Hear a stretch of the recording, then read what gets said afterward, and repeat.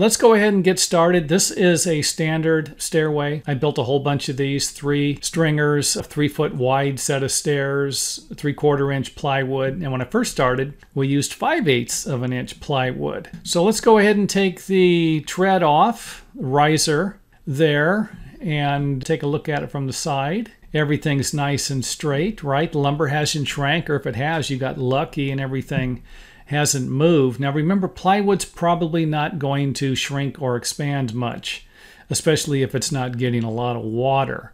But lumber, conventional lumber, Douglas fir, it can shrink, and I've seen it uh, happen quite often. When it does shrink, and uh, you can put all the adhesive you want and glue on here, if it shrinks, it could actually separate. Depends on how, how much it would shrink.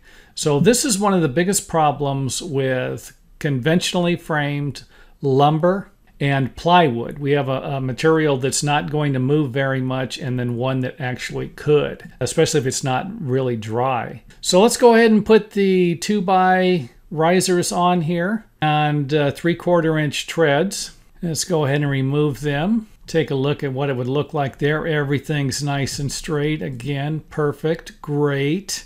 So if it stayed like this, I, I don't think you would have a problem. However, if it looks something like this, and we all know that lumber bows and it twists, and of course it cups too. And of course, with a combination of this material shrinking and this material shrinking, the stringers and the risers, you could end up with some uh, wider variations. And of course, something like this could create a problem. This one here, if it shrank even more, this gap could be even taller. Now, if you glued and screwed and nailed all of this stuff together, would it do something like this?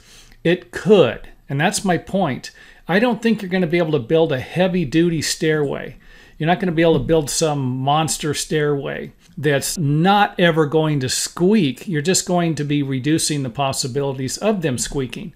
And by having two materials that uh, move and one that doesn't, then you could end up with kind of like wasting your money installing the heavy duty risers. And of course, that's the main point here. If you are going to do something like this, you want to make a heavy duty stairway, then why not just use inch and an eighth plywood for your risers and your treads?